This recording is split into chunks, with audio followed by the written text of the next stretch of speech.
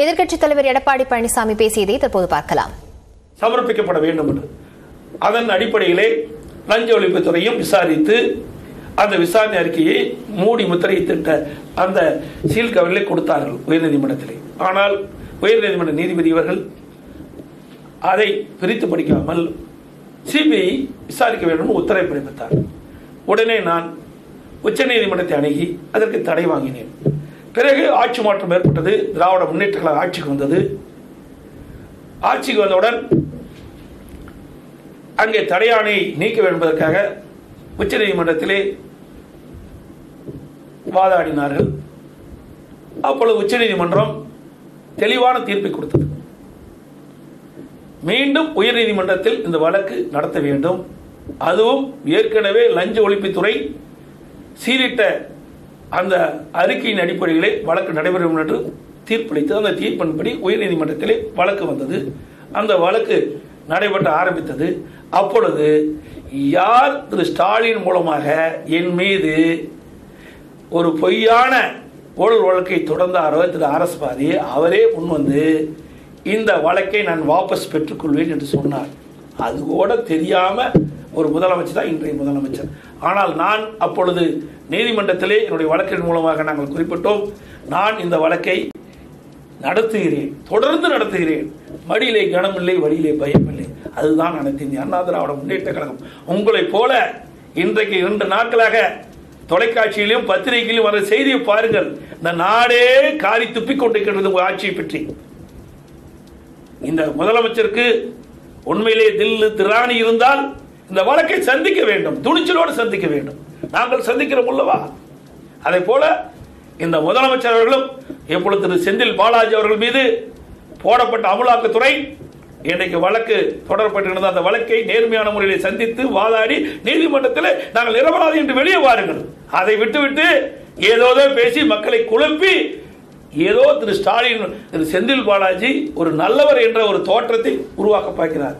இதே செந்தில் பாலாஜி பற்றி இப்படியெல்லாம் இன்றைய முதலமைச்சர் ஸ்டாலின் பேசுகிறார் என்பதற்கு சில நேரத்தில் சில குறிப்புகளை இந்த நேரத்தில் தெரிவிக்கின்றேன்.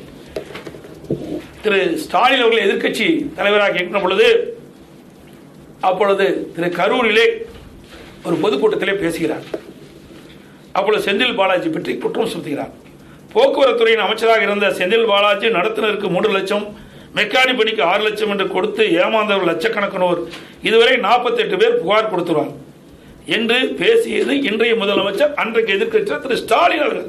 இன்றைக்கு எப்படி நல்லவர் ஆயிட்டாரு திரு செந்தில் பாலாஜி? ஒரு ஊழல் ஆட்சி என்பதற்கு முத்திரை குத்தப்பட்டிருக்கின்றனர் நாங்கள் அப்படியா இருக்கட்டும் நாங்கள் நீதிமன்றத்திலே நாங்கள் எந்த குற்றம் செய்யவில்லை என்று வாதாடுகிறோம். அங்கே அந்த வழக்கை சந்திக்கணும் சொன்ன கட்சி அண்ணா திமுக கட்சி அனைத்து இந்திய அண்ணா திராவிட முன்னேற்ற கழகத்தை இனி இந்த முதலமைச்சர் சீண்டி பார்க்க கூடாது. இந்த ஊழலுக்கு அவருடைய கூட்டணி கட்சிகளும் துணை போக வேண்டாம் என்று இந்த நேரத்தில் கேட்டுக்கிறேன் இன்னைக்கு கூட்டணியில் இருப்பீங்க. நாளைக்கு வெளியில் வந்துடுவீங்க மக்களுக்கு எப்படி பதில் சொல்லுவீங்க? அனைத்து இந்திய அண்ணா திராவிட முன்னேற்ற கழகம் பாரதிய ஜனதா கட்சியுடைய அடிமை என்று சொல்கிறார். இதே பாரதிய ஜனதா கட்சியோட ஆயிரத்தி தொள்ளாயிரத்தி தொண்ணூத்தி ஒன்பதுல கூட்டணி போட்டு பாரதிய ஜனதா அமைச்சரவையில் திமுக எம்பிகள் அமைச்சராக இடம்பெற்றாங்களா இல்லையா?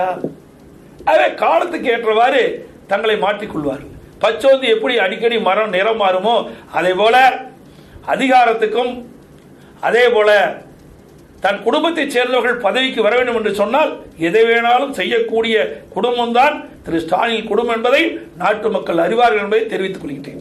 அனைத்து இந்திய அண்ணா திராவிட முன்னேற்ற கழக நிர்வாகியானாலும் சரி தொண்டனாலும் சரி முன்னாள் அமைச்சரானாலும் சரி எவரும் எந்த கட்சிக்கும் அடிமையானவர்கள் அல்ல.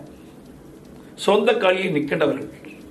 தமிழ்நாட்டு மக்களுக்காக உரிமைக்காக பாடுபடுகின்றவர்கள். ஆக எங்களுக்கு பதவி முக்கியம் அல்ல. நாட்டு மக்களுடைய எண்ணங்களை நிறைவேற்றுவதுதான் அனைத்து இந்திய அண்ணா திராவிட முன்னேற்றக்கூடிய லட்சியம். அது மட்டுமல்ல அந்த